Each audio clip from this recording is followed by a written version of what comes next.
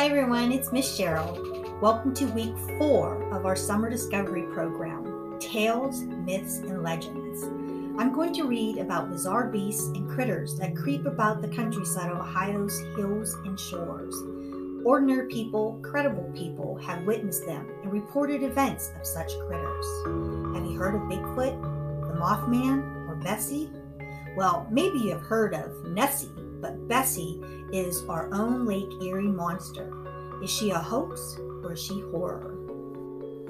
For years, people have been reporting sightings in Lake Erie of an unknown creature named, nicknamed South Bay Bessie or just plain Bessie. She is described as being gray, snake like, and 30 to 40 feet long. Though several sightings have been logged in recent years, the monster is known mostly from historical accounts. These fierce monsters are able to live both on land and in the water. Call it a snake or what you will, measuring 25 to 30 feet in length and at least a foot in diameter. Stories of the monster persisted either in spite of or because of hoaxes perpetrated in its name.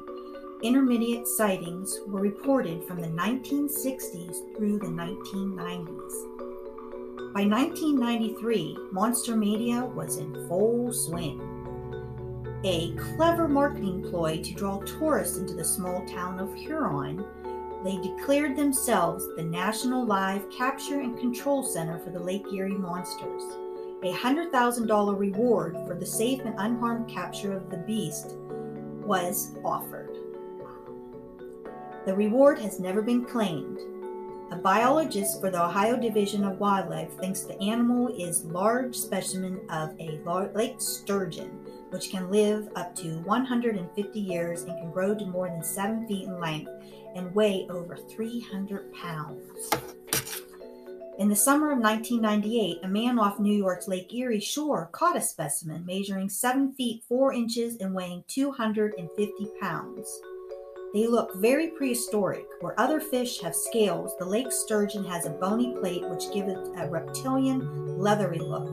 The sturgeon is a bottom feeder. Though it rises occasionally to the surface, its tail could conceivably be interpreted as being the neck of a great sea monster. Its fins can be viewed as the undulating body. The lake sturgeon is listed as the endangered species in Ohio. There is presently no plans for tagging The next myth or legend is the Mothman of Gallipolis. Mothman has clear Ohio connections.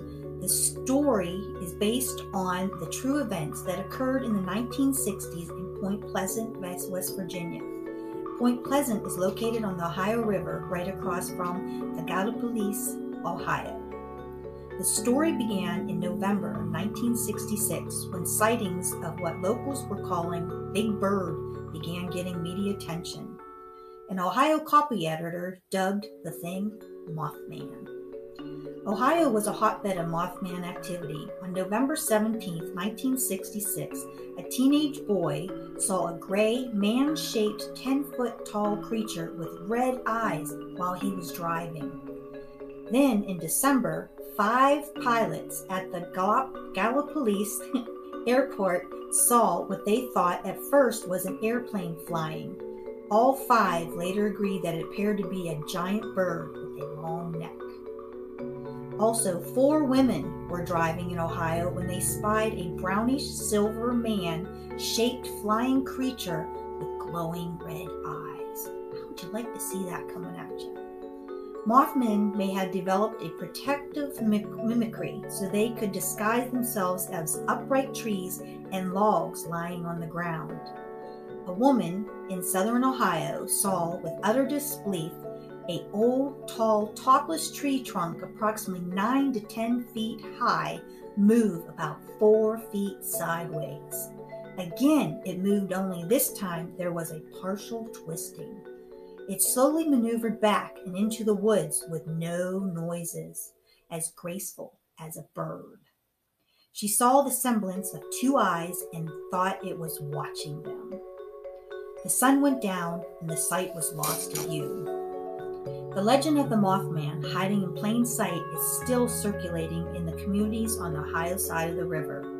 Some speculate that the Mothman sightings are a warning sign that something tragedy was going to happen. This dark prophecy was realized on December 15, 1967. The bridge between Point Pleasant, West Virginia, and Gallipolis, Ohio collapsed, taking people to their death. Tragically, the breakdown of the dead revealed two from Virginia, three from North Carolina, 19 from West Virginia, and the greatest number, 22 victims, were from Ohio.